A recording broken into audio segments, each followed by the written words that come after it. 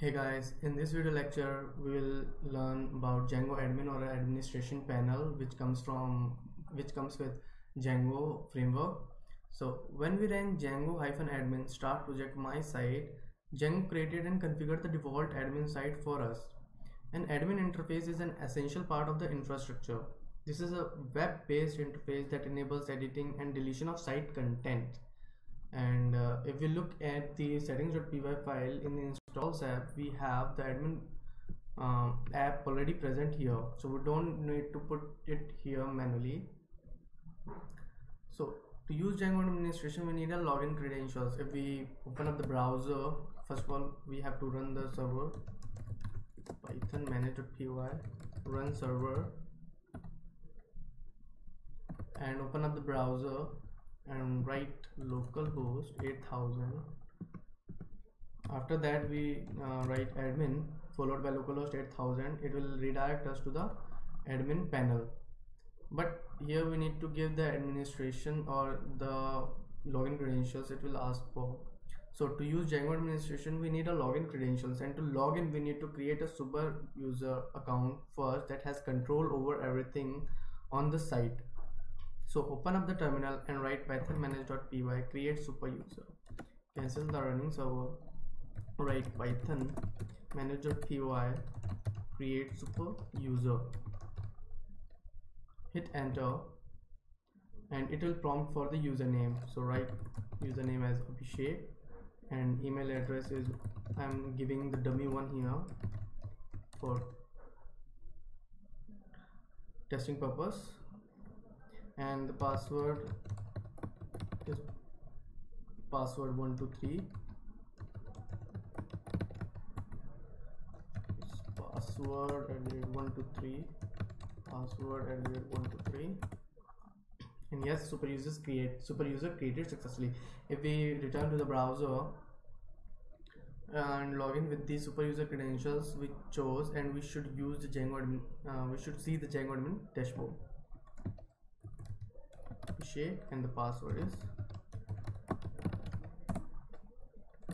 what happened here is need to run the server again.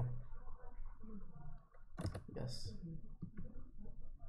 And write the credentials again.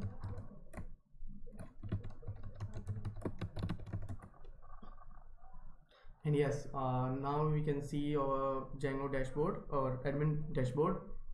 Here we have the authentication and authorizations uh, tab. We have the groups and user class in the user class we have uh, we have the Abhishek as the username and email address as abhishek at the gmail.com and staff status is okay. Uh, that we have created in the super user. If we open up the Abhishek here uh, and see the uh, password is hashed. That is and it is uh, using the algorithm pbkdf2 underscore sha256 uh, if you want to know more about pbkdf2 you can search the google here we can update our first name as uh, we didn't uh, use when we create when we were creating super user abhishek and the last name is verma. We can uh, make groups and add it here and uh, user permissions we can choose but we have to save it first and it is now showing the first name and last name last name as well.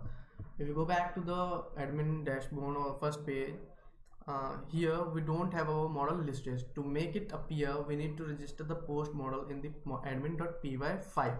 So open up the text editor atom text editor and open up the admin.py file. And import the post model first from dot models. That means the under inside the blog directory we have the models.py file and import the post class. And we need to register here which is admin dot site dot register as admin is already imported from the django dot contrib module. Dot site dot register and name our post model here. And we are good to go. and we run the server again which is already refreshed and open the web browser and refresh the web browser. We now can see our post model listed which is the blog application and the post is a model. When open up the post model uh, we don't have any post yet. We can add post from here and we can write title here which is like my new post one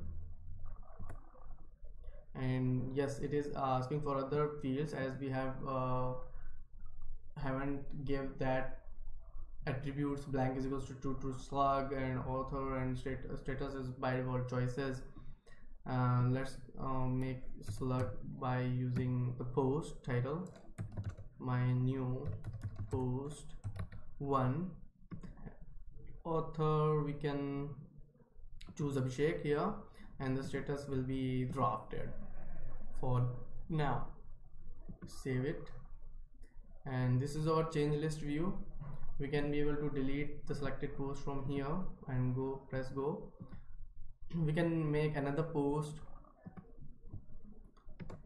My new post to my new post to and make the uh, author Abhishek and make it published. Yeah. So our both the posts are ready. And we have added our post model the main criteria of this video lecture is to add the post model. So in the next video lecture we will uh, customize our admin panel and like search add the search fields and display changes in the change list view and make a filter sections in our post change list view. So goodbye guys. See you in the next